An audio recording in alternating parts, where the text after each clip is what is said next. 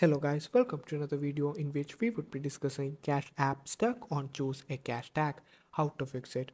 Are you having trouble that your Cash App is stuck on choose a cash tag screen? Don't worry, in this video we'll help you find a solution for it. Just follow these easy steps.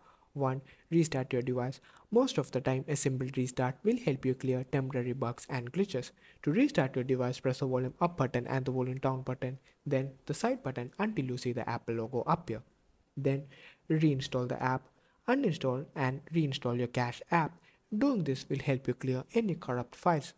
To do that, long press the app and click on remove app, then select delete app.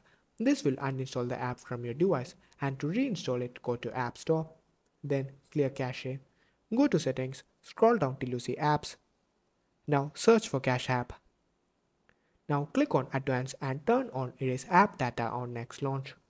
Lastly, contact support. If the issue persists, reach out to Cash App support for further assistance. Thank you for watching.